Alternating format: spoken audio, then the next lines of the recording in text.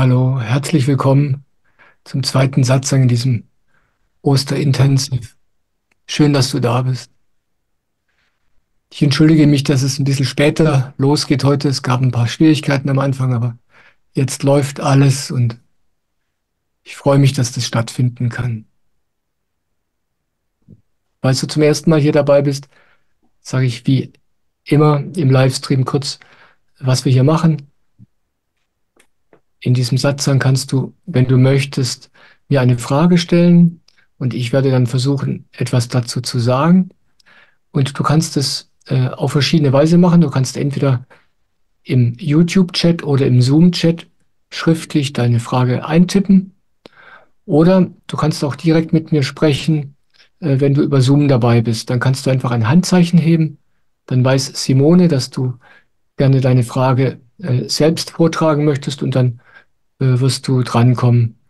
Äh, Wenn es soweit ist, dann sagt dir die Simone Bescheid.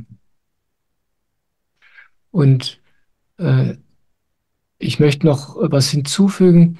Falls du eine Frage gestellt hast, dann kannst du mich gerne anschließend per E-Mail kontaktieren, damit ich deine E-Mail-Adresse habe. Und ich werde dann in den nächsten Tagen, wenn die Aufzeichnung online geht, von diesem Satzang dir einen Link zu schicken äh, zu zu der Stelle im Video, an der deine Frage beantwortet worden ist. Und du bekommst dann auch ein Transkript der Antwort, also eine Abschrift. Äh, das kann ich aber nur machen, wenn ich von dir deine E-Mail-Adresse bekommen habe. Also wenn du das möchtest, wenn du daran Interesse hast, dann schick mir einfach eine E-Mail nach diesem Satzang und dann melde ich mich bei dir, äh, wenn die Aufzeichnung des Satzangs online ist. Ja. Und wir werden jetzt bis 15.30 Uhr hier zusammen sprechen. Und äh, in der letzten halben Stunde zwischen 15.30 Uhr und 16 Uhr, da meditieren wir zusammen. Wenn du möchtest, kannst du gerne mitmeditieren. Äh, das gemeinsame Meditieren ist was ganz Besonderes. Swamiji, das ist der Guru in Indien, der die Samapan-Meditation äh, bringt. Der sagt, äh, wenn man gemeinsam meditiert, zum Beispiel wenn wenn 100 Leute zusammen meditieren, eine halbe Stunde lang, dann ist es so, als würde man selbst alleine 100 Mal eine halbe Stunde meditieren. Das ist sozusagen ein Verstärkungsfaktor. Und ich spüre das auch. Ich, ich empfinde das als ganz besonders unterstützend und erhebend, dieses gemeinsam Meditieren. Du bist herzlich eingeladen, da heute mitzumachen. Falls du nicht weißt, wie die Samapa-Meditation funktioniert, ist das gar kein Problem. Ich sage dann kurz bevor wir damit äh, beginnen, ein paar Sätze dazu. Das geht ganz, ganz einfach. Und dann kannst du einfach mitmachen, wenn du möchtest. Ja, und jetzt fangen wir einfach direkt mit den Fragen an. Simone, hast du denn schon was vorzulesen? Ich glaube, du sagtest, du hattest noch eine von gestern, die übrig geblieben war. Ich höre nichts, Simone. Ich glaube, du hast dich stumm geschaltet. Verzeihung, ich habe noch eine Frage von gestern, das stimmt. Und ich habe auch noch schon eine neue Frage für heute, die lese ich dann im Anschluss zu deiner Antwort vor. Ja, klasse, sehr schön. Die Frage, die erste, ist von Mukunda. Sie fragt, kannst du etwas zu dem verbreiteten Dilemma sagen, bei dem sowohl Angst vor Nähe als auch Angst vor Einsamkeit besteht. Danke, Mukunda, danke. Ich danke dir für deine Frage.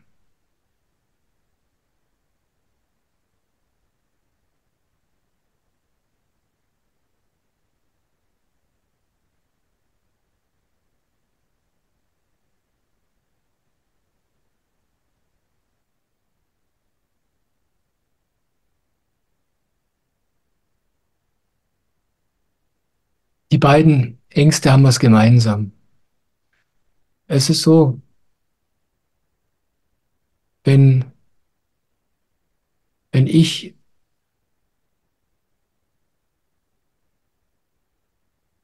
mir selbst nicht nahe bin. Oder ich, lass mich mal andersrum anfangen. Ich kenne diese Angst vor dem Alleinsein von früher. Ich hatte früher immer Angst vor dem Alleinsein, ohne es zu wissen. Ich habe irgendwann gemerkt, dass ich Angst vor dem Alleinsein habe, nachdem ich gespürt habe, wie ich mich in Beziehungen verhalte.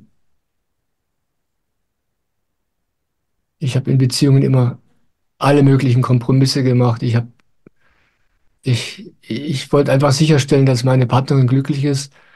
Und ich habe mir eine Weile lang sogar was drauf eingebildet, als wäre das was Tolles. Und irgendwann, das ist jetzt 24 Jahre her, da kam ich zu meinem spirituellen Meister Soham und nachdem der mich kurze Zeit kannte, sagte er zu mir, Michael, du hast Angst vor dem Alleinsein. Und ich wusste das gar nicht. Aber nachdem er mir das einmal gesagt hatte, vor 24 Jahren, habe ich näher hingeschaut und habe ich entdeckt, er hat recht.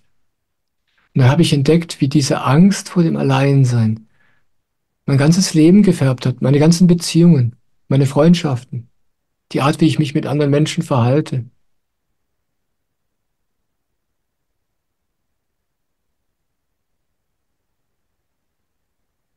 Und diese Angst vor dem Alleinsein kommt daher, dass wir uns selbst nicht nahe sind. Heute habe ich überhaupt keine Angst mehr vor dem Alleinsein. Aber nicht deswegen, weil ich diese Angst überwunden hätte, sondern weil ich durch meinen spirituellen Meister, durch die Meditation, ganz allmählich gelernt habe, mir selbst nahe zu sein, mich zu spüren und sozusagen in mir selbst zu wohnen.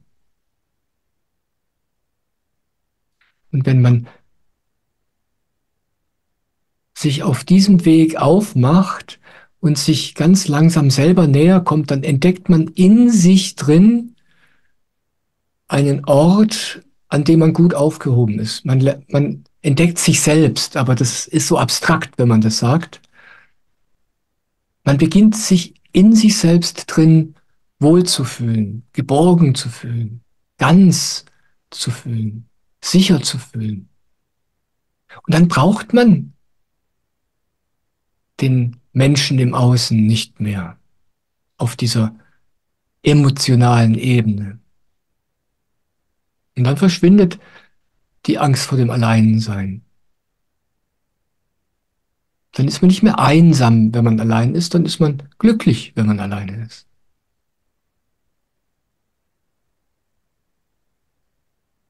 Und das Unwohlsein oder die Angst vor, der, vor dem Zusammensein ist im Grunde das gleiche, die Angst vor Nähe mit einem anderen Menschen. Denn wenn ich mir selbst nicht nahe bin, wie wie soll ich dann einem anderen Menschen nahe sein? Das funktioniert überhaupt nicht.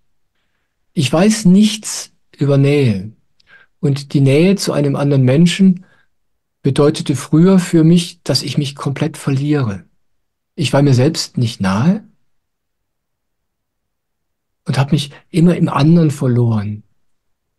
Das fühlt sich vielleicht anfangs ein bisschen romantisch an, aber eigentlich ist es sehr schmerzhaft und natürlich auch überhaupt nicht angenehm und auch nicht nützlich. Also eigentlich ist es kein, kein Widerspruch, diese beiden Ängste, nur scheinbar, nur wenn man sie oberflächlich betrachtet. Aber die Ursache für beide ist eine und dasselbe. Und deswegen ist die Lösung auch eine und dieselbe. Dieses die Angst vor dem Alleinsein und die Angst vor Nähe kommt aus, aus, diesem, aus dieser Gewohnheit heraus, die wir Menschen für gewöhnlich haben, mit unserer Aufmerksamkeit immer ganz da draußen zu sein, immer ganz beim, bei den anderen Leuten zu sein, beim Partner, bei der Geliebten, beim Geliebten, beim Mann, bei der Frau. Und dann sind wir vollkommen abhängig von dem, was dann dort geschieht, ob wir gemocht werden, ob wir akzeptiert werden, ob wir die Aufmerksamkeit brauchen, die wir so dringend suchen. Und wenn wir das tun, wenn wir mit unserer Aufmerksamkeit nach außen gerichtet sind, dann führt es immer zu Problemen. Die ganze Welt tut es.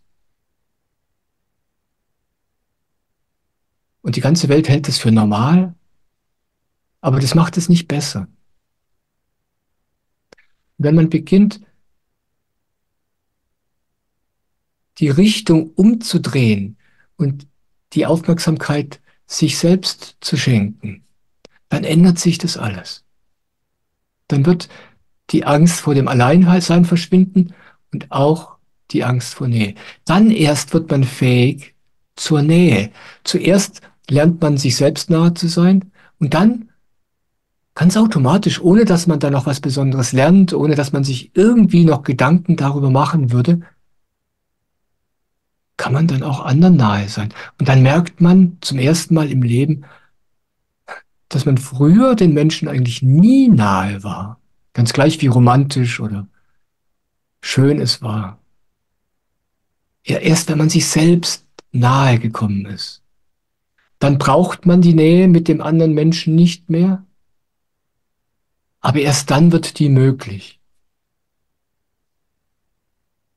Ja, und dieses sich selbst nahe sein lernt man durch Meditation, durch das, was wir nachher gemeinsam machen, durch die Samapa-Meditation. Ganz allmählich. Es ist kein Hexenwerk, das ist nicht schwierig. Es ist einfach etwas, was man kennenlernen und dann üben muss, einfach weil wir es nie gelernt haben vorher in unserem Leben. Von Geburt an haben wir immer gelernt, mit unserer Aufmerksamkeit da draußen zu sein. Kein Mensch hat uns beigebracht, auf uns zu schauen. Das muss man einfach üben. Es ist keine große Sache. Es braucht ein bisschen Zeit, das ist alles. Danke für diese schöne Frage. Vielen, vielen Dank. Danke, Mukunda.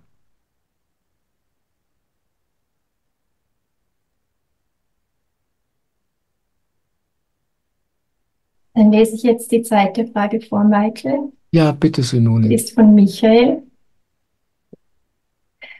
Lieber Michael, ich durfte dir gestern schon Fragen zu meiner Beziehung, Trennung stellen. Vielen Dank für diese Möglichkeit. Sehr, sehr. Deine, deine Worte zum Thema Liebe, keine Vorstellungen, keine Wünsche und keine Pläne zu haben, berührten mich sehr und haben in mir etwas zentriert, von wo aus ich klarer meine Liebe zu meiner Partnerin und auch zu mir selbst schauen kann. Sie so zu lieben, wie sie ist, ist mir nicht immer leicht gefallen. Das kann ich jetzt gut sehen. Das trifft auch, auch auf die Liebe für mich selbst zu. Und das ist ja auch irgendwie logisch. Ich nehme deine Worte und das Gefühl in mir mit in unseren anstehenden Urlaub auch wenn meine Partnerin recht klar mit dem Trennungswunsch ist.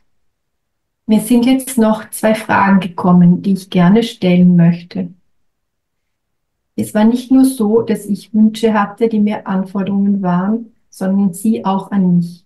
In unserer jetzigen Wir trennen uns Phase gibt es gerade kaum Anforderungen an den anderen. Das Zusammenleben ist liebevoll und fühlt sich sehr frei und leicht an. Das ist verrückt.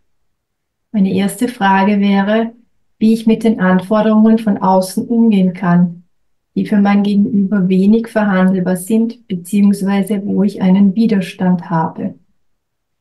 Wie kann ich mit mir und meinem Widerstand beziehungsweise ihrer Anforderung, ihrem Wunsch liebevoll umgehen?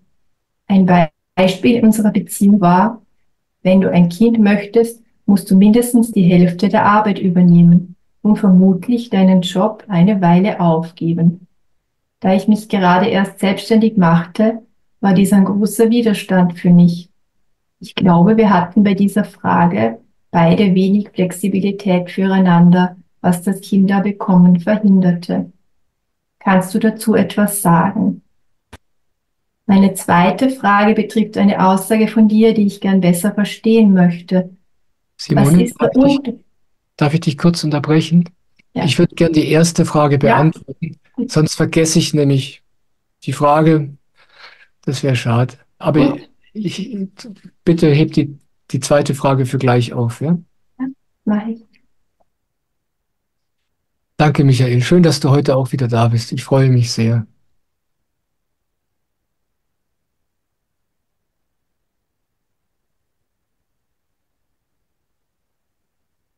Ja, das ist, das ist wirklich spannend, was du erzählst, dass jetzt gerade in dieser Trennungsphase, nach diesem Schock, nach diesem schmerzhaften Aufgerüttelt werden durch diese, diesen Konflikt, der jetzt da aufgebrochen ist, alles plötzlich wieder so leicht ist, weil du sagtest es gerade so schön, weil die Vorstellungen und die Wünsche jetzt gerade mal für einen gewissen Zeitraum nicht da sind. Und so ist es am Anfang einer Beziehung, einer Romanze auch. Ja? Deswegen ist es so schön am Anfang. Man lernt sich kennen und in dieser Zeit, wo man sich kennenlernt, hatte der eigene Intellekt noch keine Gelegenheit, den anderen einzuordnen, den anderen kennenzulernen und dann die eigenen Wünsche auf diesen Menschen zu projizieren. Man begegnet also dem anderen als unbeschriebenes Blatt. Man hat keine Wünsche, man hat keine Vorstellungen. Man nimmt den anderen einfach so, wie er ist. Und selbst Sachen, die komisch sind, die später dann schwierig werden, die findet man einfach nur süß oder anders oder interessant. Und deswegen ist es am Anfang so schön. Und deswegen ist es am Ende auch oft so schön. Ja, man trennt sich und nach einer Weile weiß man gar nicht, warum man sich getrennt hat, weil man den anderen plötzlich einfach wieder liebt, weil diese ganzen Wünsche weg sind.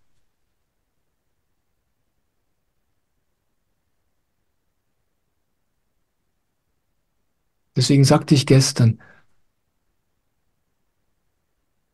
wenn man liebt, geht es nur, wenn man keine Wünsche hat, keine Anforderungen an den anderen, keine Vorstellung, wie dieser Mensch sein sollte.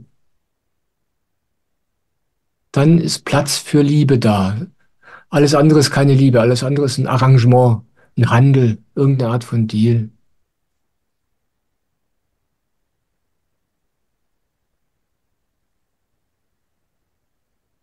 Und du fragst, wie du mit den Anforderungen deiner Partnerin umgehen könntest. Und du hast ein Beispiel gegeben.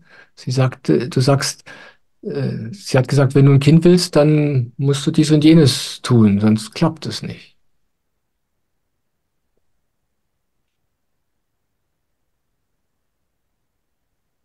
Und das ist ja auch eine ganz praktische Angelegenheit. Ja.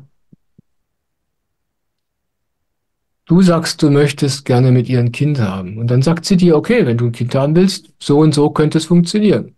Ja. Also das ist für mich jetzt keine Anforderung, die von außen an dich herangetragen wird. Ja. Sie sagt dir einfach, hey, hör mal, ganz praktische Angelegenheit. Ja, wenn wir ein Kind haben zusammen, dann, dann sind ein paar Sachen nötig. Und so und so stelle ich mir das vor. Eigentlich klingt das für mich ganz geerdet. Ich würde dir raten, bei deinen Wünschen und Anforderungen anzufangen. Und dann wird sich alles ganz automatisch ergeben. dann braucht man gar nicht mehr drüber nachdenken. Dann verschwinden diese ganzen Fragen. Wenn du mal den Reset-Knopf bei dir drückst und deine Anforderungen, deine Vorstellungen und Wünsche an die Beziehung, an diesen Menschen vergisst und einfach neu beginnst mit ihr zu leben, dann wirst du von allein merken, was, was möglich ist und was nicht.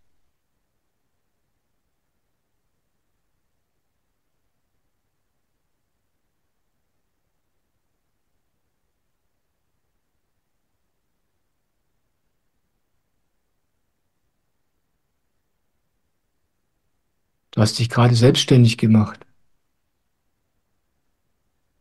Ich weiß, wie das ist. Deine gesamte Energie geht da rein. Es ist nicht die Zeit, ein Kind zu kriegen. Das spürt deine Freundin ganz gut. Weißt du, die Sache mit den Wünschen ist die.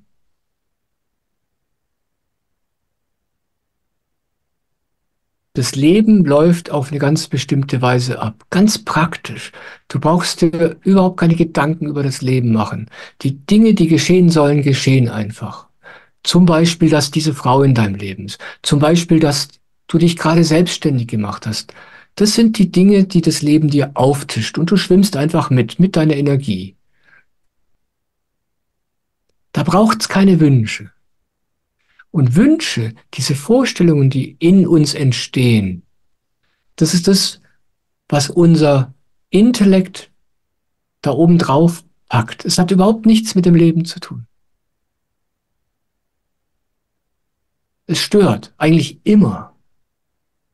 Es passt nie rein.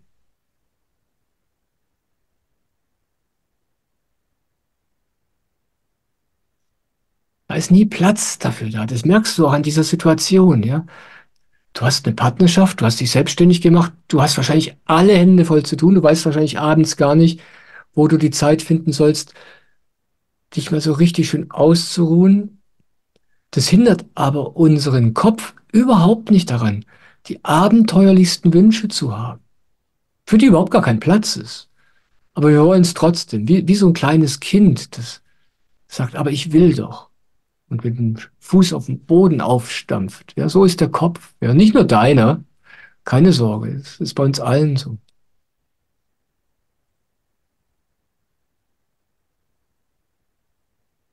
Fang bei dir an. Vergiss deine Wünsche Und dann schau, was übrig bleibt von den Konfliktherden in deiner Partnerschaft. Aber fang jetzt neu an. Denk nicht drüber nach, wie es vorher war. Weißt du, du bist jetzt wieder an dem Nullpunkt. Du kannst es ganz von vorne anfangen.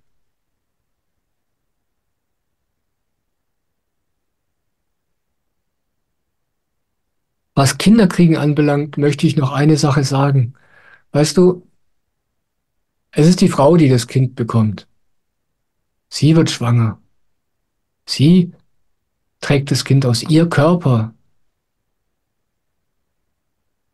gebärt das Kind, in ihrem Körper wächst das Kind heran. Eigentlich hat kein Mann das Recht, ein Kind zu wollen. Ja, das ist Angelegenheit der Frau. Weil sie das Kind bekommt. Sie ist dann die Mutter, nicht du. Es ist für einen Mann ganz leicht, sich ein Kind zu wünschen, aber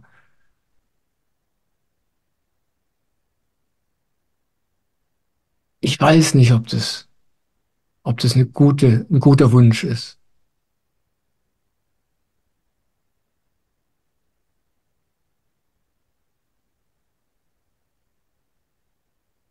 Und ich möchte noch was dazu sagen, wie das denn funktioniert zwischen zwei Menschen, wenn man aufhört, Wünsche aneinander zu haben. Manche sagen dann, ja, wie lebt man dann überhaupt zusammen? Wer lebt, wer legt fest, was man dann zusammen macht? Wie passiert denn das?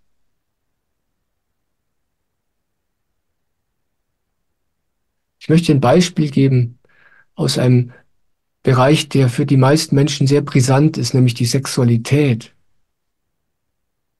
Ja. in der Sexualität, ich nehme das Beispiel sehr gerne, weil man da den Schmerz der Wünsche ganz besonders deutlich spürt. Ja, wie, wie schrecklich das eigentlich ist, wenn jemand einen Wunsch an einen hat. Oder eine Forderung gar, ja.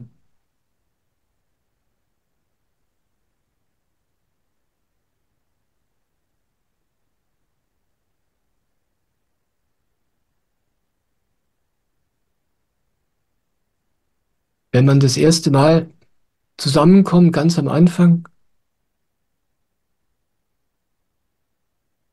und überhaupt keine Vorstellungen voneinander hat und viel zu viel Angst hat und viel zu aufgeregt ist, um irgendwas zu sagen, dann kommt man zusammen und alles, was passiert, Man erlebt unglaublich schöne Sachen zusammen.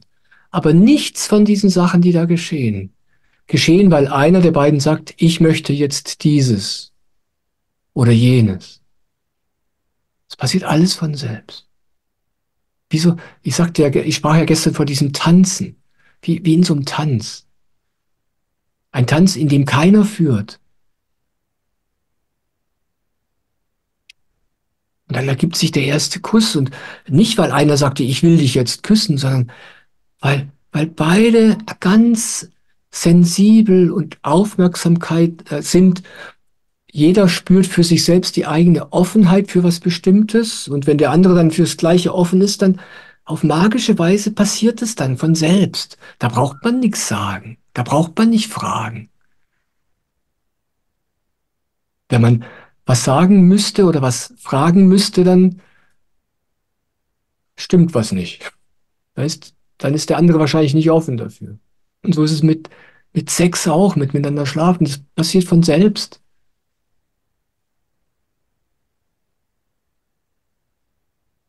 Und so kann man zusammen sein. Und in jedem Augenblick des Zusammenseins, in jedem Moment, immer bereit sein, das zu akzeptieren, wie es jetzt ist.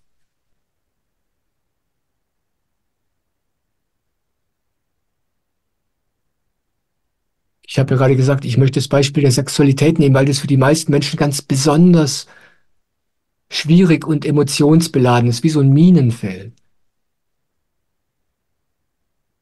Stell dir vor, du, du hast eine Begegnung mit deiner Frau, mit deiner Freundin und du fühlst Lust und du merkst, ah, also ich, ich bin echt scharf auf sie, jetzt würde ich gern mit ihr schlafen. Und du spürst, ja, sie hat auch Lust. Und eins kommt zum anderen und plötzlich ist man miteinander im Bett. Aber dann kommt ein Moment, wo du merkst, oh, etwas hat sich geändert. Sie fühlt sich nicht wohl. Und sie zieht sich zurück. Und dann sofort in dem Moment dazu Ja sagen. Plötzlich ist alles anders. Ja? Das Rendezvous, das ihr habt, ist, hat sich plötzlich komplett verändert. Wenn du jetzt dazu Ja sagen kannst, weil du keine Erwartungen entwickelt hast, dann wirst du einen wunderschönen Abend verbringen, auf eine andere Weise. Wenn du aber denkst, jetzt will ich aber, dann werdet ihr einen schrecklichen Abend haben. Und so ist es mit allem, mit jeder Kleinigkeit. Nicht nur beim Kinderkriegen, nicht nur bei Sexualität, bei allem, beim Abwasch, beim Einkaufen, beim Spazierengehen. Wirklich bei jeder Kleinigkeit.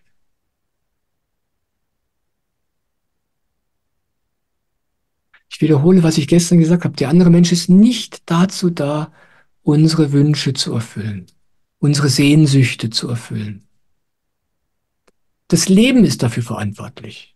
Ja? Und wie sich das ergibt, geschieht von selbst. Wir brauchen dem anderen nie irgendetwas von dem sagen, was wir wollen. Es ist nicht notwendig.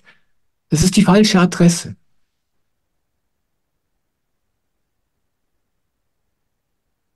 Also,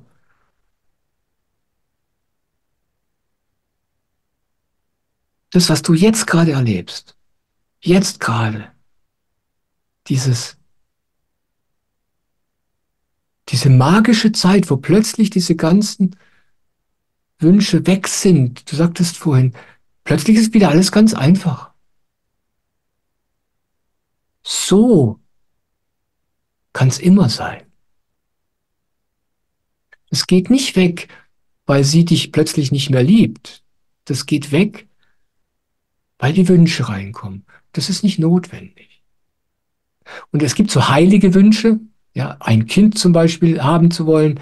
Das ist so ein Wunsch, da, da sagen alle, ja, ja, das ist ja ein toller Wunsch, das, das verstehe ich, das, den darf man haben.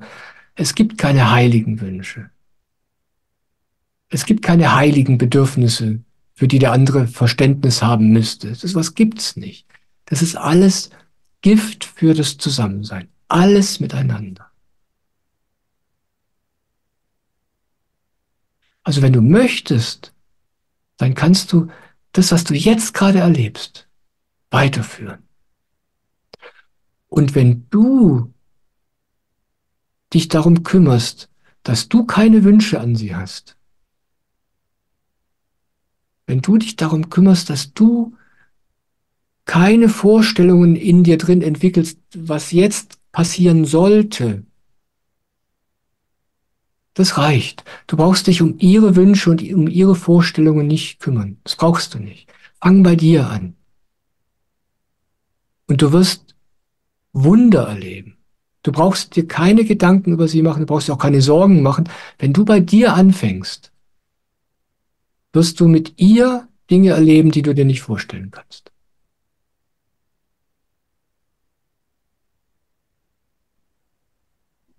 Das ist das Einzige, was wir tun müssen. Bei uns anfangen. Und bei all den Dingen, die,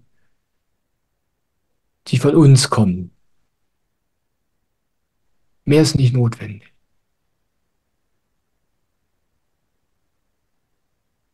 Ich finde es toll, was du erzählt hast, dass das jetzt plötzlich so leicht ist. Was für eine schöne Erfahrung. Ja, das ist, ein, das ist wirklich ein bemerkenswertes Zeichen. Ja. Danke. So, und jetzt gab es noch eine zweite Frage, Simone. Ja, genau. Die lese ich jetzt vor. Meine zweite Frage betrifft eine Aussage von dir, die ich gerne besser verstehen möchte. Was ist der Unterschied zwischen jeder ist so, wie er ist, beziehungsweise wir können uns nicht wirklich ändern und der tieferen Erkenntnis darin? Dadurch geschieht doch bereits schon eine Änderung. Geht es dabei um den Ego-Anteil in uns, der so ist, wie er ist? Die Frage ist etwas verkopft, aber vielleicht verstehst du ja, was ich meine. Simone, Würdest du mir die bitte nochmal vorlesen? Ja. Was ist der Unterschied zwischen jeder ist so, wie er ist, beziehungsweise wir können uns nicht wirklich ändern und der tieferen Erkenntnis darin, dadurch geschieht doch bereits schon eine Änderung. Geht es dabei um den Ego-Anteil in uns, der so ist, wie er ist, Danke.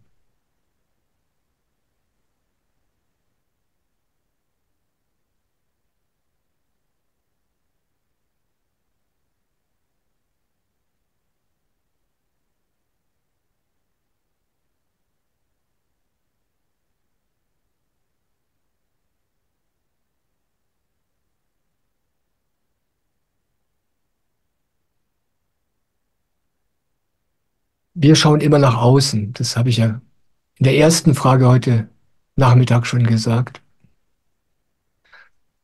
Wir schauen für alles, was wir zu brauchen glauben, nach außen. Auf den anderen. Und der andere schaut auf uns. Deswegen werden, das habe ich ja gerade ausführlich gesagt, Beziehungen so schrecklich und so schwierig und so klebrig und so kompliziert. Und wir glauben, wenn der andere anders sei, oder wir glauben, wenn wir anders wären, dann wäre alles einfacher. Aber die eigentliche Herausforderung besteht nicht darin, dass wir anders werden müssen. Die, die eigentliche Herausforderung besteht auch nicht darin, dass der andere anders werden muss. Wir glauben das zwar, aber nur, weil wir nichts anderes kennen.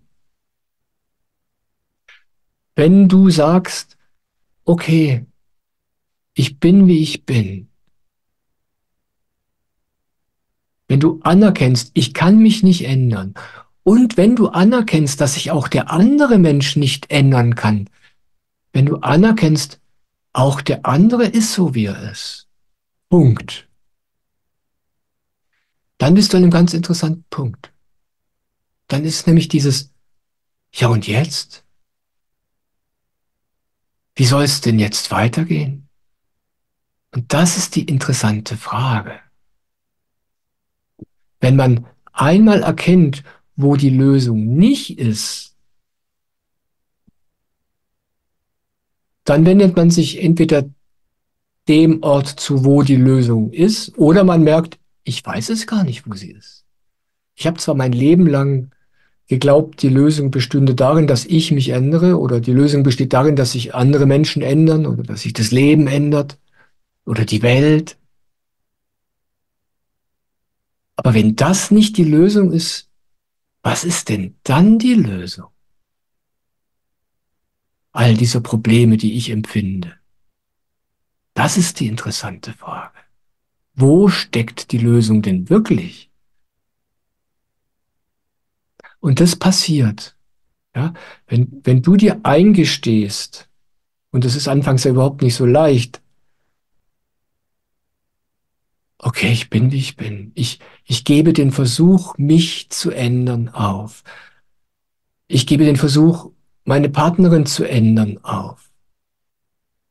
Ja, und jetzt?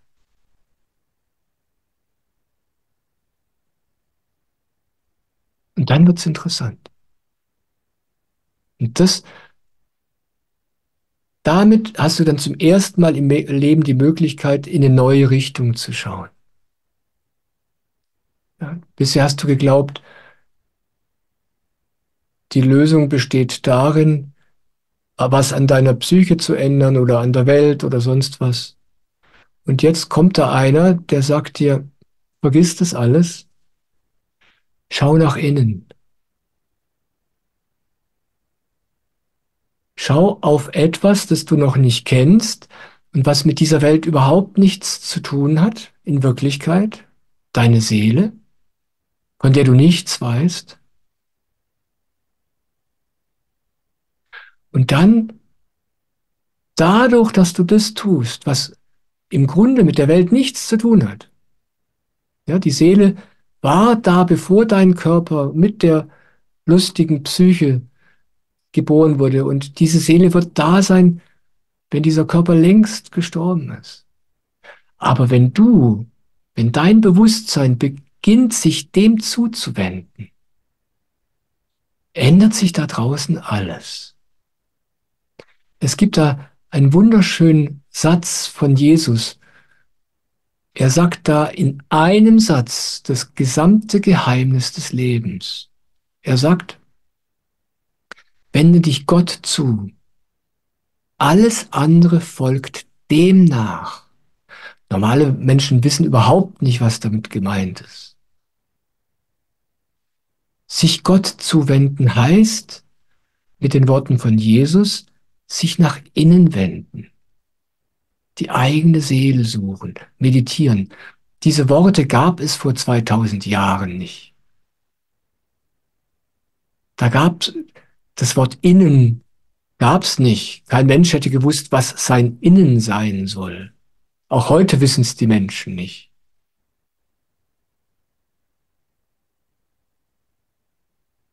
Kein Mensch weiß in Wirklichkeit, was die Seele sein soll. Die muss man beginnen zu erleben, dann weiß man es. Aber davon spricht Jesus. Ja? Er sagt, fang an zu beten, wende dich Gott zu, Beten war sein Wort für Meditation. Das Wort gab es damals in diesem Land nicht.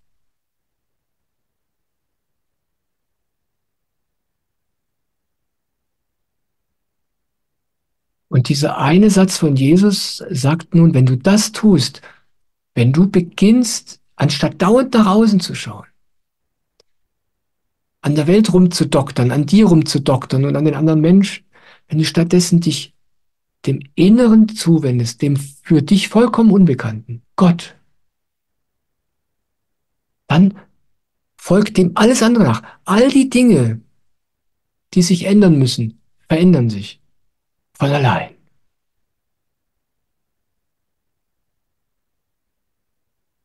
Und du, du sagst ja in deiner Frage so wunderschön, dass wenn man das anerkennt, ich bin so wie ich bin, dass dann schon was geschieht. Und du hast recht. In dem Moment, wo ich in der Lage bin zu sagen, okay, ich bin wie ich bin.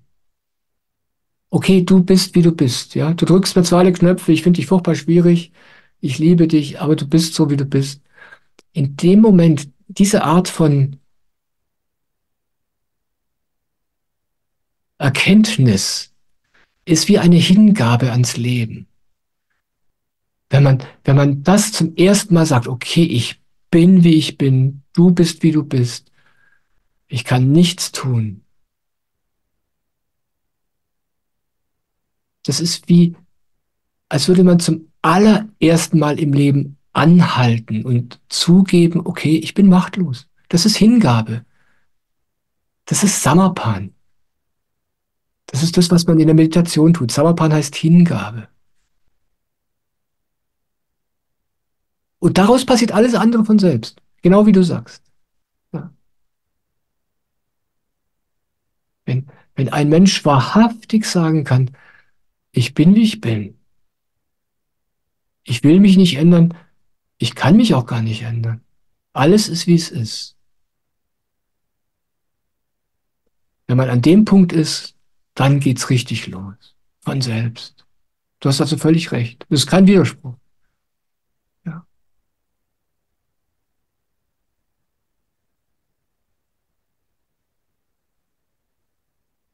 Und deswegen ist das mit diesem Meditieren auch so magisch, weißt du?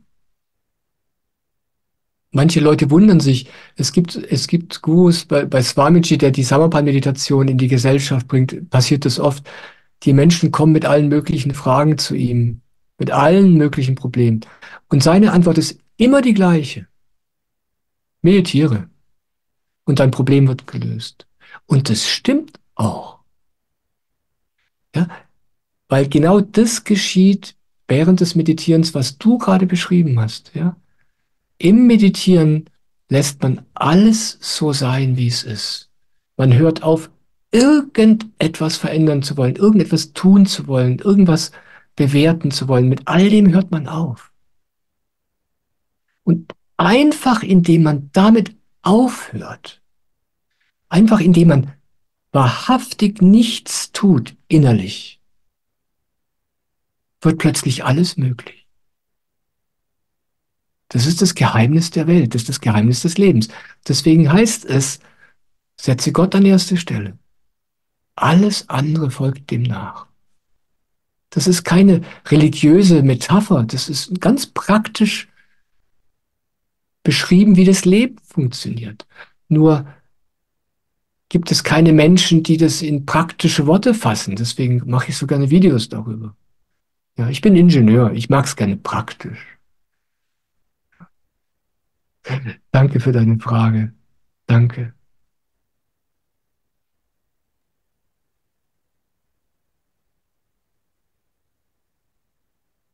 Ich möchte die nächste Frage vorlesen, Michael. Ja, ich bitte dich, Simone. Die stammt von Alexandra. Hallo Alexandra, schön, dass du da bist. Ich freue mich.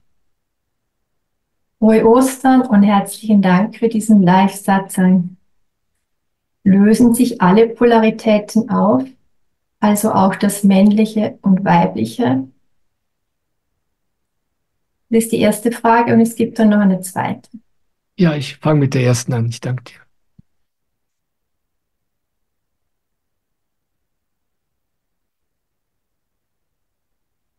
Alle Polaritäten lösen sich auf, auch das Männliche, auch das Weibliche, aber du lebst in einem weiblichen Körper und der bleibt weiblich.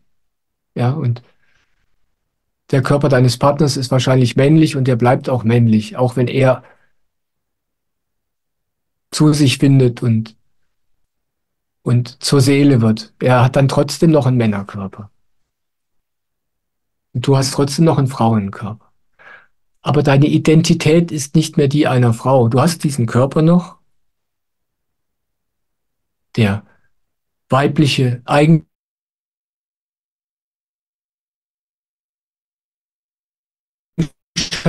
Dinge tut, ja, das bleibt alles so. Das geht nicht weg. Aber du bist damit nicht mehr identifiziert.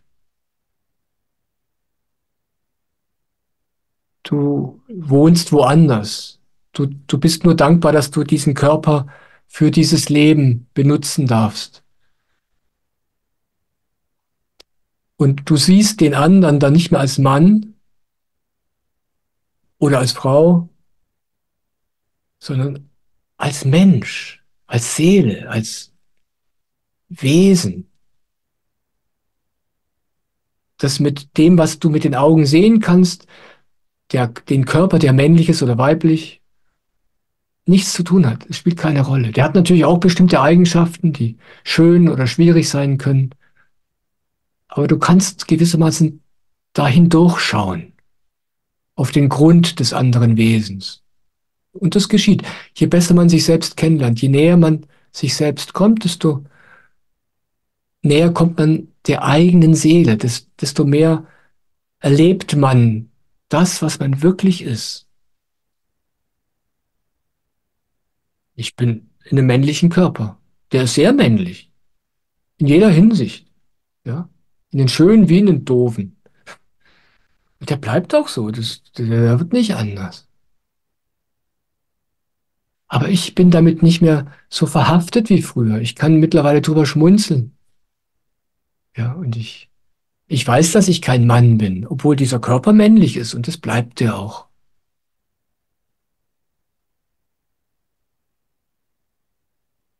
Und so ist es mit allem, was wir als Polaritäten bezeichnen. Mit gut und mit schlecht. Du erkennst, da gibt's nichts Gutes, da gibt's nichts Schlechtes. Es gibt niemanden, der was Gutes macht. Das ist alles heiße Luft. Es gibt auch niemanden, der was Schlechtes macht, obwohl es viele Dinge gibt, die geschehen, die sehr, sehr schmerzhaft sind. Aber du, du verstehst, wo es herkommt. Und dann löst sich das alles auf.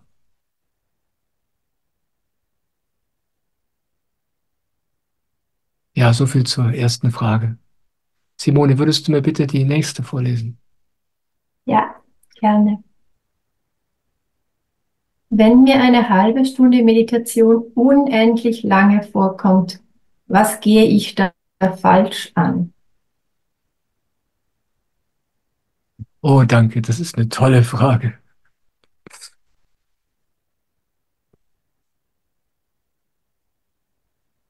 Wenn dir eine halbe Stunde Meditieren unendlich lange vorkommt, dann machst du alles genau richtig. Das ist wirklich ein gutes Zeichen. Deswegen setzen wir uns zum Meditieren hin. Schau, es ist so, wir haben das ja in diesem Satzang schon ein paar Mal gehört. Wir sind es von Geburt an gewohnt, etwas zu tun. Ja, wir glauben, das ist der Inhalt des Lebens, was zu erreichen, was zu verändern. Das ist wichtig, das muss geschehen. Daran glauben wir. Und so ist unser Inneres gestrickt. Da ist ständige Bewegung, die ganze Zeit. Selbst wenn du gemütlich irgendwo in einem Café sitzt und einen Cappuccino trinkst, selbst dann rattert dein Kopf. Du bist eigentlich schon beim nächsten beim übernächsten. Du hörst beim Gegenüber kaum zu, geschweige denn dir selbst. Und das ist normal, so sind wir einfach. Das ist nicht so, dass wir verkehrt wären. So, so sind wir aufgewachsen. Das haben wir gelernt. So sind alle.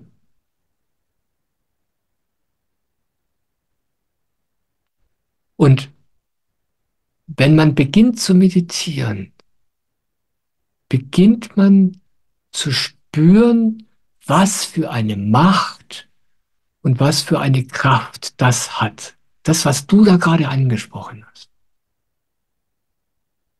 Und es ist wunderbar, wenn man beginnt, das zu spüren. Es ist nicht angenehm, aber es ist gut, das zu spüren. Deswegen setzt du dich zu meditieren hin. Du machst also überhaupt nichts falsch.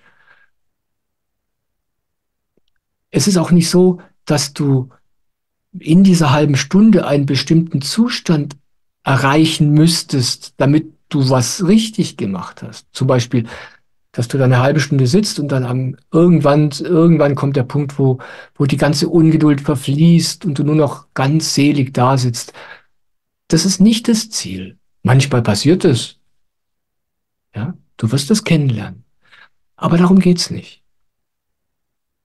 Es geht darum, zu versuchen, mit der Aufmerksamkeit hier ruhen zu wollen und das ganz sanft, ohne jede Bewertung, immer wieder zu tun, immer wieder, und dann zu erleben, was passiert. Und du, du brauchst damit nichts machen. Du, weißt du, du musst es jetzt nicht schaffen, dass die Ungeduld weggeht. Du brauchst dich um die nicht kümmern. Du kannst sie einfach da sein lassen. Und du gehst einfach immer wieder hier hoch.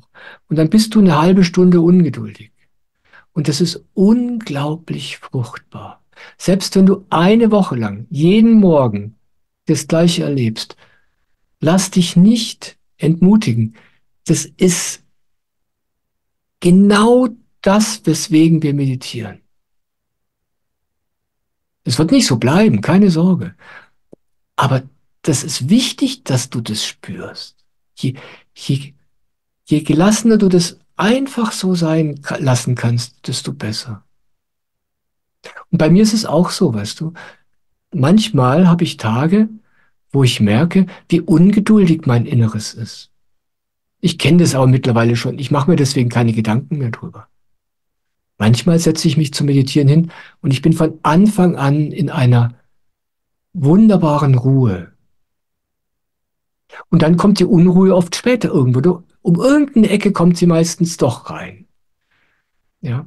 Und das verstehen die meisten Menschen beim Meditieren falsch. Es geht beim Meditieren nicht darum, eine halbe Stunde selig und in Stille dazusitzen. Das ist nicht Ziel der Übung. In deinem Leben wird sich immer mehr Stille ausbreiten, immer mehr Friede. Aber in der Meditation lernen wir die Unruhe kennen. Einfach dadurch, dass wir uns ganz still, bewegungslos hinsetzen, nichts tun, die Gedanken ignorieren, so gut wir können. Und dadurch passiert genau das, was du sagst. Wir lernen die Unruhe kennen. Und einfach indem wir die Unruhe da sein lassen, ohne uns um sie zu kümmern. Ganz gleich, was sie erzählt und immer wieder hier an diesen Ruhepol zurückkommen, bis es uns wieder wegzieht und dann kommen wir wieder zurück. Allein dadurch geschieht etwas ganz, ganz Wichtiges und Wesentliches. Aber das geschieht von selbst. Es ist also überhaupt kein schlechtes Zeichen. Im Gegenteil, ich freue mich total, dass du das erzählst.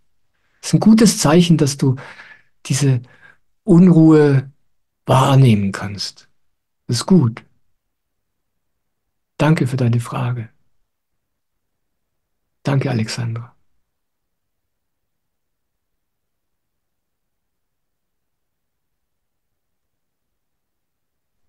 Alexandra schreibt, Dankeschön, was für eine erholsame Antwort. Ja, das, die Meditation darf erholsam sein. Ja, lass die Unruhe einfach mitmeditieren und ruh dich aus, so gut du kannst. So still du kannst. Ist alles kein Problem. Danke. Dann lese ich die nächste Frage vor. Sehr die gerne. Angesammelt von Meditation. Sie ist von der Katharina. Hallo Katharina. Was kann ich machen, wenn mein Nervensystem ständig überfordert ist, innere Spannung, Unruhe und Unwohlsein da ist, alles so anstrengend ist? Seit circa einem halben Jahr meditiere ich, Samapan-Meditation. Danke. Hm.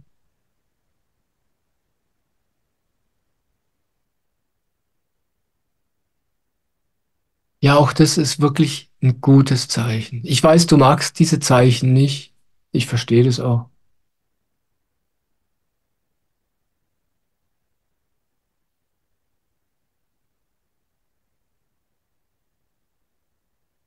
Weißt du, wir leben in einer vollkommen verrückten Welt. Und alle halten es für normal.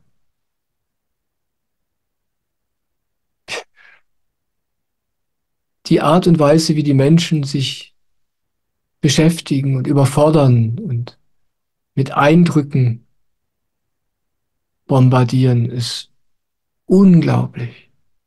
Ist völlig unmenschlich alles. Aber keiner kennt was anderes.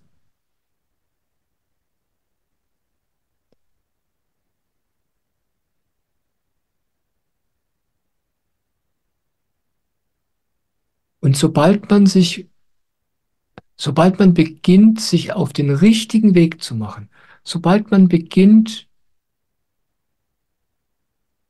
umzudrehen und in Richtung Ruhe zu gehen, in Richtung Gesundheit zu gehen, in Richtung Erholung zu gehen. Sobald man das tut, das Erste, was geschieht, ist, dass man die Unruhe wahrnimmt und den Schmerz davon und den Lärm innerlich und die unendliche Erschöpfung. Das geht, das geht damit einher.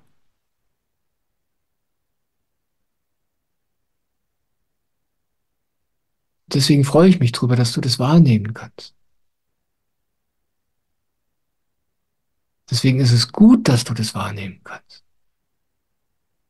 Es wird nicht für immer so bleiben.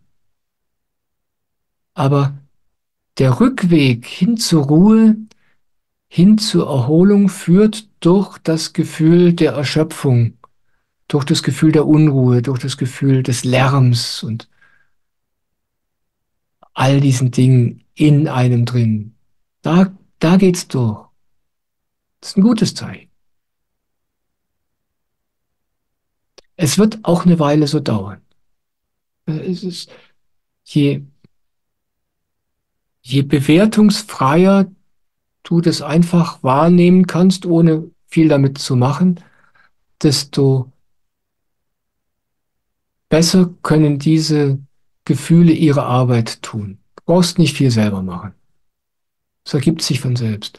Wenn du, je besser du die Erschöpfung spüren kannst, desto besser wird dich die Erschöpfung lehren, was für dich notwendig ist, damit es dir besser geht.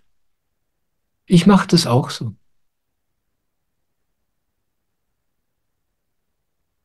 Und das steuert mein Leben. Manchmal habe ich Tage oder Wochen, wo ich sehr viel Arbeit habe und ich möchte Videos machen und ich möchte meine Korrespondenz beantworten. Ich möchte die Leute nicht warten lassen, die mich schreiben. Und dann fühle ich mich so erschöpft und dann muss ich einfach diese Erschöpfung fühlen. Und dann habe ich das Gefühl, keiner, alle werden sich ärgern. Alle denken, der Maibke macht was falsch, aber ich kann nicht, ich, ich, ich, ich muss einfach das, was da ist, anerkennen. Mehr ist nicht notwendig. Und daraus entsteht dann für mich ganz automatisch genau die Erholung, die ich brauche. Einfach indem ich mich erschöpft fühle. Das ist eigentlich eine ganz geniale Einrichtung der Natur. Und so ist es bei dir auch.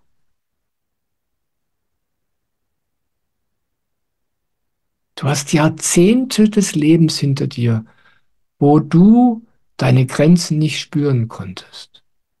Und jetzt merkst du, deine Batterien sind leer. Dein Nervensystem ist am unteren Limit. Und das ist toll. Jetzt spürst du das. Und jetzt in, in dieser Zeit, wo du die Erschöpfung und diese Belastung spürst, in der Zeit geschieht das Auftanken. Ganz, ganz langsam, ganz allmählich wird sich das ändern.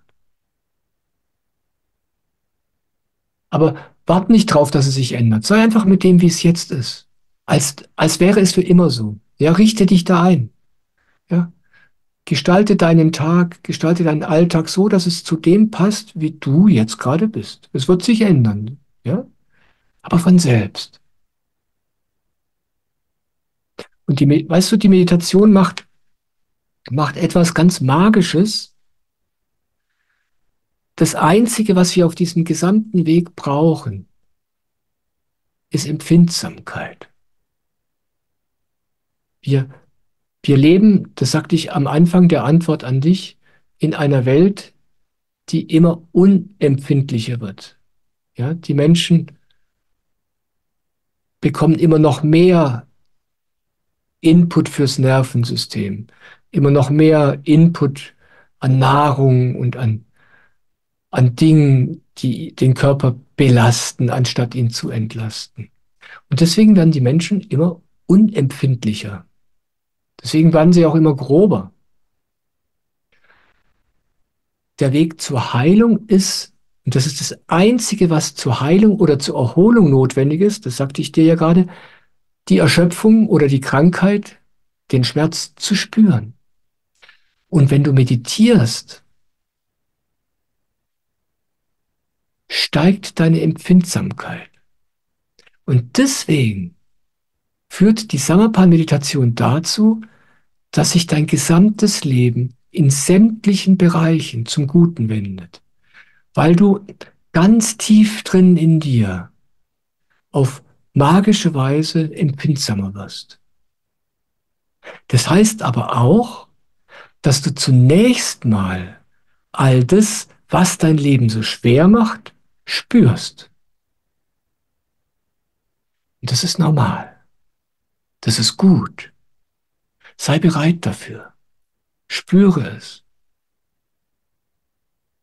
Und daraus ergeben sich die Veränderungen von selbst. Und die Meditation hilft dir dabei, kräftiger zu werden, ja, damit du das aushalten kannst. Und sie hilft dir dabei, in dem Maße empfindsamer zu werden, wie es für dich möglich ist und wie es für dich passend ist. Das ist eine ganz magische, ganz grundlegende Art, das Leben zu verändern.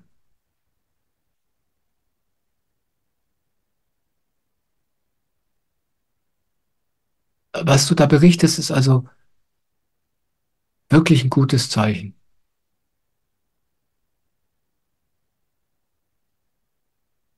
Danke. Ich freue mich.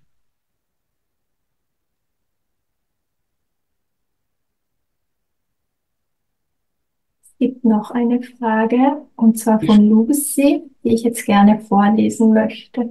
Ja, hallo Lucy. Ja, bitte lest die Frage vor. Danke, Simone. Ich erlebe so starke Selbstzweifel und Selbstverurteilung, wenn ich mich der Welt mehr zeige.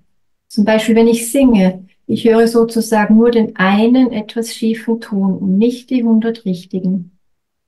Wie komme ich da raus?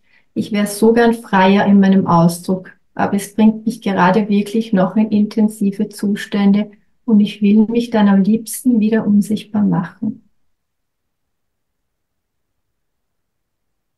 Danke, Lucy. Danke, dass du dich zeigst mit dieser Frage. Ach, ich verstehe dich so gut.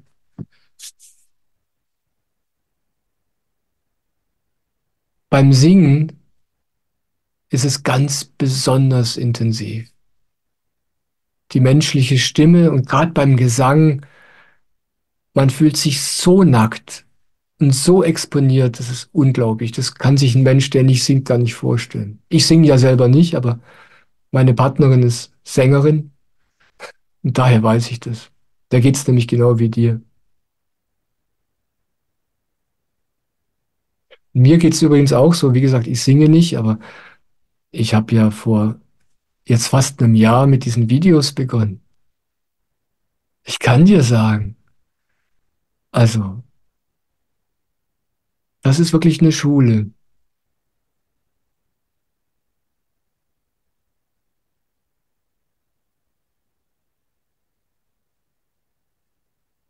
Du fragst, wie kannst du damit umgehen mit diesen Selbstzweifeln?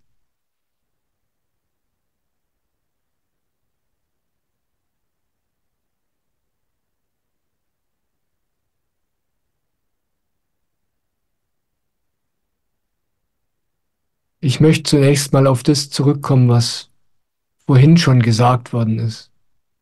Weißt du, dieses Ich bin, wie ich bin. Die Sache ist ja die, du tust etwas und du zeigst dich damit der Welt. Beim Singen ist es so, dass du das Gefühl hast, dass du dein Innerstes nach außen kehrst und jeder kann dein Inneres sehen. Und dann dieses Ich bin, wie ich bin. Wenn mich alle verkehrt finden, ich bin, wie ich bin.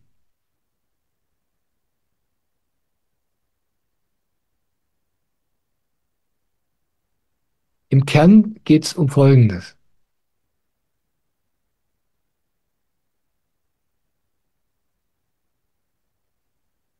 Es geht darum, ganz langsam zu lernen, sich selbst zu lieben, wie man ist.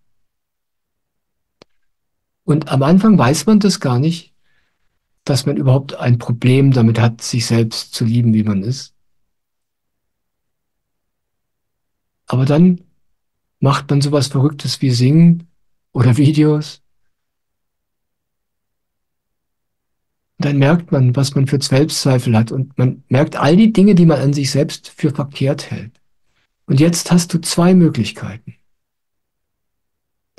Du kannst beginnen zu versuchen, dich zu verändern. Du kannst zu versuchen, die Dinge, von denen du überzeugt bist, dass sie an dir nicht stimmen, die zu verändern, die zu verbessern.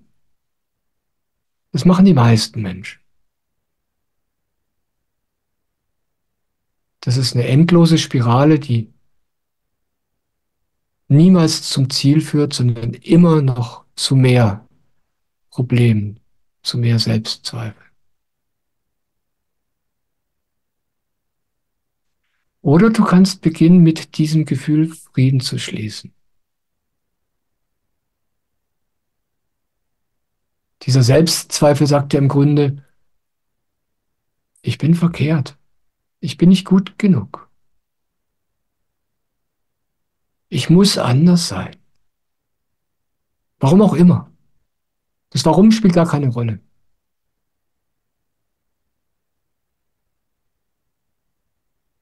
Und dafür bereit sein, vollkommen verkehrt zu sein.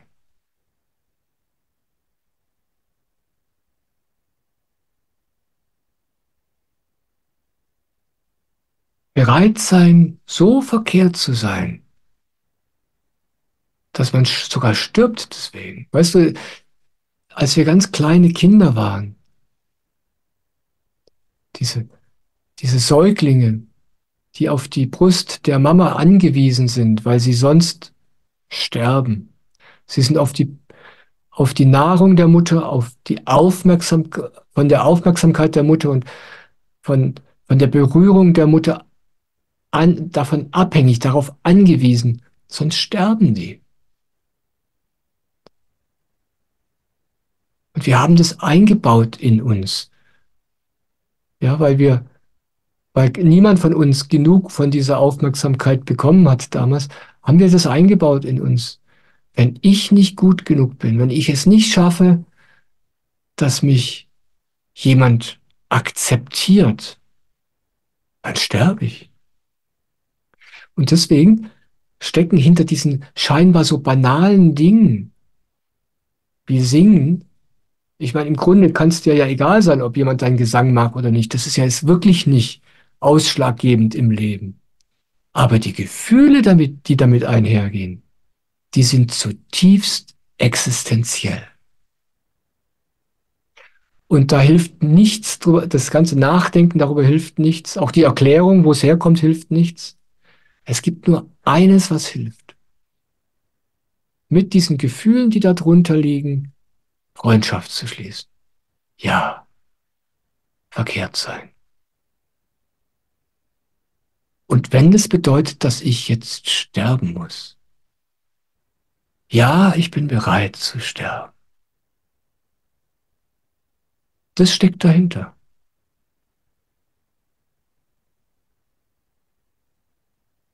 Mein Meister Soham sagte einmal zu mir, wenn du bereit bist, verkehrt zu sein. Dann bist du frei. Das werde ich nie vergessen.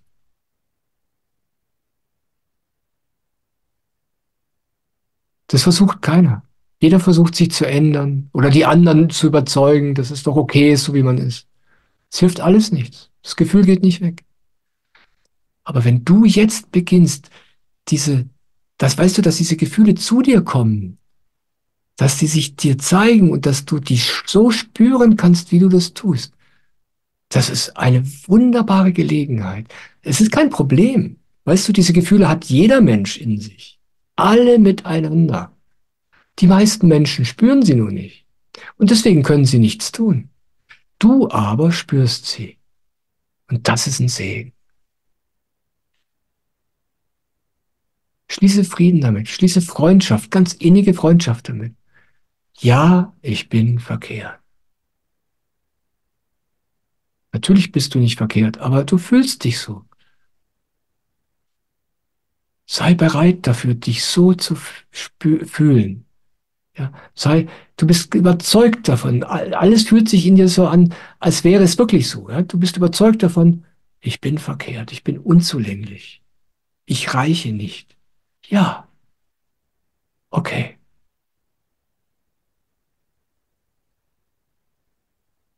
Das ist der Weg. Vorhin ging es ja auch zweimal um Beziehung. Und Menschen fragten ja, wie soll ich denn umgehen? Wie soll ich denn umgehen mit, wenn, wenn mich jemand kritisiert, wenn jemand sagt, ich soll anders sein, wenn meine, meine Partnerin äh, mich nicht gut findet? Das ist genau der gleiche Weg. Man fühlt sich total verkehrt. Und man weiß, man kann nicht anders sein. Wenn man dann sagen kann, ey, und das habe ich von meinem Meister Soham gelernt, wenn man dann sagen kann, du hast recht, ich bin Verkehr. Aber ich bin so. Ich kann mich nicht ändern. Ich weiß, du hast recht, ich sollte anders sein. Du, du, ich weiß, du hast recht, ich bin verkehrt. Aber ich bin so. Dann bist du frei. Und jetzt am Schluss meiner Antwort möchte ich dir noch ein Geheimnis verraten. Das Leben unterstützt verkehrte Menschen. Je bereiter du bist, so verkehrt zu sein, wie du wirklich bist, desto mehr wirst du erleben, auf ganz wundersame Weise, wie das Leben gerade dich so, wie du bist, unterstützt. Du wirst staunen. Kann ich nur empfehlen. Probier's aus. Danke. Danke für deine Frage. Danke, dass du den Mut hast, dich so zu zeigen und viel Freude beim Singen. Singen ist die beste Therapie. Ja. Wie gesagt, ich singe nicht, aber ich erlebe es hier im Haus immer wieder.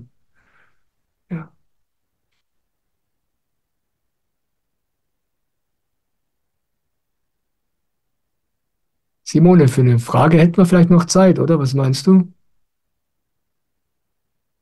Ich höre dich nicht. Ja, wir haben noch Zeit. Ich ja. habe aber aktuell keine Frage. Ich hab, hätte nur noch zwei Anmerkungen vorzulesen oder ja, Rückmeldungen. Ja, gerne. Und zwar Katharina, die vom überforderten äh, Nervensystem geschrieben hat, schreibt, danke Michael, wunderbar Tränen fließen. Lieb dich einfach, wie du bist. Wirklich. Gerade diese Überforderung ist wie so ein Baby, das einfach, einfach im Arm gehalten werden möchte, weißt du? Wochenlang, monatelang. Ja. Mike, Michael schreibt, nochmals danke, lieber Michael weiß nicht, was passiert ist, aber ich habe die ganze Zeit geweint, als du meine Fragen beantwortet hast. Die Tiefe in deiner Antwort ist sehr heilsam.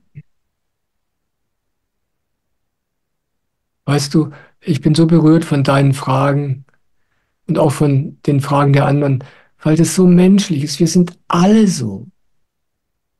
Und keiner hat uns je beigebracht, wie man richtig lebt. Und jetzt können wir es endlich beginnen. Ja. Ja, dann werde ich jetzt beginnen, über die Samapan-Meditation zu sprechen, weil wir in fünf Minuten beginnen oder in vier Minuten zusammen zu meditieren.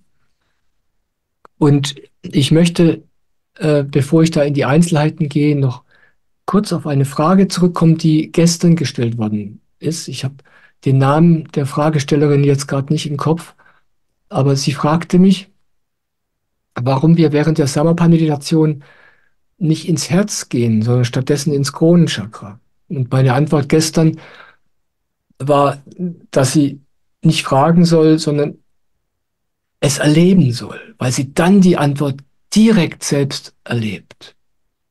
Ich möchte aber heute doch noch eine Anmerkung dazu machen. Es ist so, dass am Herz natürlich überhaupt nichts verkehrt ist. Herz ist eine tolle Sache. Aber du bist nicht das Herz, du bist nicht die Gefühle, du bist nicht dieser Körper. Und ich weiß, du sprichst natürlich nicht von dem Herz als Organ, sondern von, von dem Chakra, von den Gefühlen, von der Herzensenergie. Aber auch das bist du nicht. Wie gesagt, da ist nichts dran verkehrt. Das ist eine wunderbare Sache. Aber in dieser Meditation machen wir was anderes. Wir richten unsere Aufmerksamkeit, ohne dass wir das im Moment wissen, auf das, was wir wirklich sind. Du ruhst mit deiner Aufmerksamkeit hier oben. Und du weißt gar nicht warum.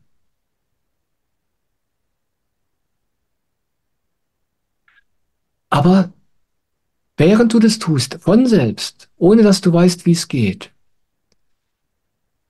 entdeckst du dadurch, wer du wirklich bist. Nicht der Körper, nicht die Emotionen, nicht die Wünsche, auch nicht das Herz, sondern eine Seele. Du weißt nicht, was das sein soll, Seele. Ja? Aber das entdeckst du dabei. Und deswegen richten wir unsere Aufmerksamkeit während der Meditation hier oben hin und ignorieren einfach alles andere. Nicht, weil damit was verkehrt ist, aber weil ich das nicht bin. Wir sagen ja auch dieses Mantra ganz am Anfang der Meditation. Ich bin eine heilige Seele. Ich bin eine reine Seele.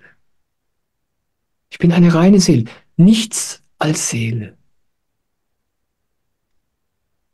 Und das ist der Grund, warum wir uns dieser Stelle zuwenden. Aber wie magisch diese Stelle ist, das muss jeder selber rausbekommen. Ja, das wollte ich noch hinzufügen zu meiner Antwort gestern, die ja in eine ganz andere Richtung gegangen war. Ja, wir werden also jetzt zusammen meditieren. Ich habe ja gerade schon ganz kurz angesprochen, was man da ganz praktisch macht. Es ist so, du setzt dich einfach ganz bequem hin. Du kannst dich anlehnen, wenn du möchtest. Du kannst es dir bequem machen. Ich sitze am liebsten so da, dass mein Rücken aufrecht sitzt. Also aufrecht ist der, mein Rücken ist frei, da kann ich am besten meditieren. Ich sitze im Schneidersitz da, da kann ich mich am besten entspannen in der Meditation. Aber du kannst es machen, wie es für dich am angenehmsten ist. Diese ganzen Äußerlichkeiten, wie man da sitzt, wo die Hände liegen, ich lege sie auf die Oberschenkel, all das ist zweitrangig. All das ist nicht so wichtig. Das einzig Wesentliche ist, wo wir während der Meditation mit unserer Aufmerksamkeit sind. Das ist das, eine, worum es um diese, in dieser Meditation geht. Und die haben wir hier oben. An der obersten Stelle des Kopfes. Nichts Esoterisches. Einfach hier. Und zu Beginn der Meditation machen wir folgendes. Wir nehmen die flache Hand, legen sie hier oben drauf. Und die, die Stelle des Kopfes, die du spürst, wenn die flache Hand da drauf liegt, das ist das Kronenchakra. Mehr brauchst du darüber überhaupt nicht wissen. Und dann macht man mit der Hand so drei Kreise im Uhrzeigersinn auf dieser oberen Stelle da. Dadurch wird die ein bisschen warm und man spürt sie besser. Und dann nimmt man die Hand wieder ganz langsam runter. Und jetzt spürt man die Stelle da oben ein wenig besser als sonst. Und während die Hand nach unten geht, bleibt man mit der Aufmerksamkeit einfach da oben an dieser Stelle. Und dann sagen wir das Seelenmantra, das ich gerade schon erwähnt habe. Ich bin eine heilige Seele ich bin eine reine Seele. Das wird dreimal wiederholt. Ja, und dann sitzen wir eine halbe Stunde lang oder jetzt noch 28 Minuten lang da in Stille. Es spielt keine Musik. Es passiert nichts weiter. Du sitzt einfach eine halbe Stunde da. Und du wirst merken, wie deine Gedanken an dir zerren, wie deine Aufmerksamkeit plötzlich überhaupt nicht mehr im Kronenchakra ist. Spielt alles überhaupt keine Rolle. Du kannst nichts falsch machen. Deine Aufgabe ist es einfach, mit der Aufmerksamkeit immer wieder hierher zurückzukommen. Das ist alles. Und das machen wir jetzt zusammen.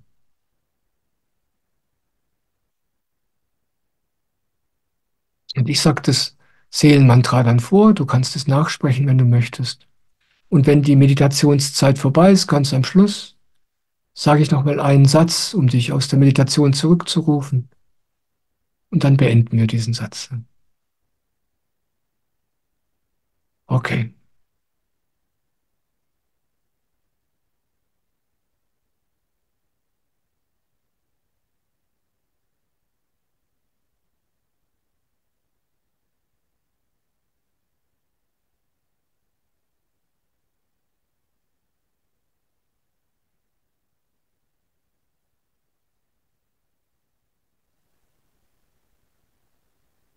Ich bin eine heilige Seele. Ich bin eine reine Seele. Ich bin eine heilige Seele. Ich bin eine reine Seele. Ich bin eine heilige Seele. Ich bin eine reine Seele.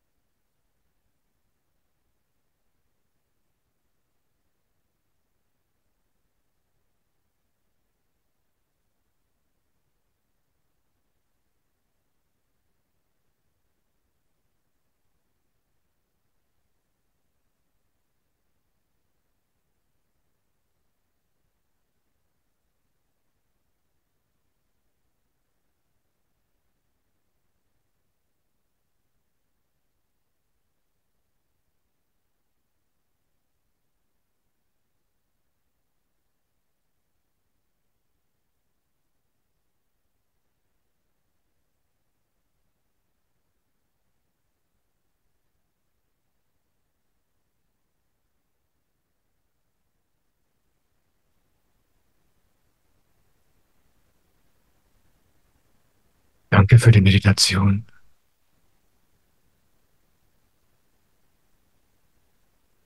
Du kannst deine Augen jetzt wieder langsam öffnen.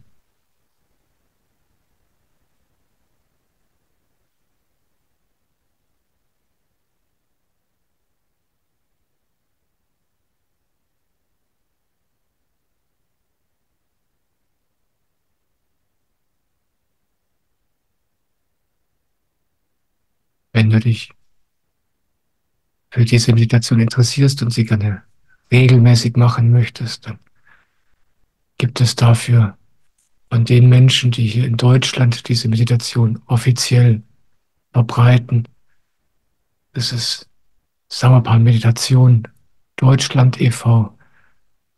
Eine Einführung. Das ist eine kurze und sehr schöne Veranstaltung, da kann man online mitmachen. Die gibt es einmal in der Woche montags beispielsweise, aber auch zu vielen anderen Terminen. Und da kannst du mehr über diese Meditation erfahren, wenn du möchtest. Du kannst aber auch gerne mich fragen, wie du möchtest. Wenn du während dieses Intensivs Fragen gestellt hast und gerne von mir per E-Mail benachrichtigt werden möchtest, wenn das Video online ist und den Link zu der Videostelle und das Transkript haben möchtest, schreib mir einfach eine E-Mail und ich melde mich bei dir. Zum Schluss möchte ich gern noch sagen, dass alle meine Inhalte immer kostenlos sind, genau wie dieses Intensive auch. Einfach weil ich glaube, dass ich kein Recht dazu habe, für all diese Dinge irgendwie Geld zu verlangen, weil es nicht mir gehört. Ich habe es ja auch geschenkt bekommen von meinem Meister, von meinem Guru, vom Leben. Deswegen gebe ich es einfach so weiter. Aber aus ganz praktischen Gründen freue ich mich sehr über finanzielle Unterstützung. Und wenn dir danach ist, mich zu unterstützen, dann geht es ganz leicht. Auf meiner Website, auf der Seite Mitgliedschaft, habe ich dafür die Informationen. Und wenn du dazu Lust verspürst und Freude, dann kannst du dorthin gehen und dich informieren. Oder mir einfach eine E-Mail schreiben und mich fragen. Ich danke dir dafür, dass du hier dabei warst. Wenn du noch Fragen hast, kannst du mir gerne per E-Mail schreiben und ich antworte dann per E-Mail oder auch per Brief kannst du mir schreiben. Handschriftlich mag ich es ganz besonders gern. Und ich antworte dann entweder im nächsten Online-Satzang oder in einem Video. Danke, dass du dabei warst. Danke. Ich liebe dich.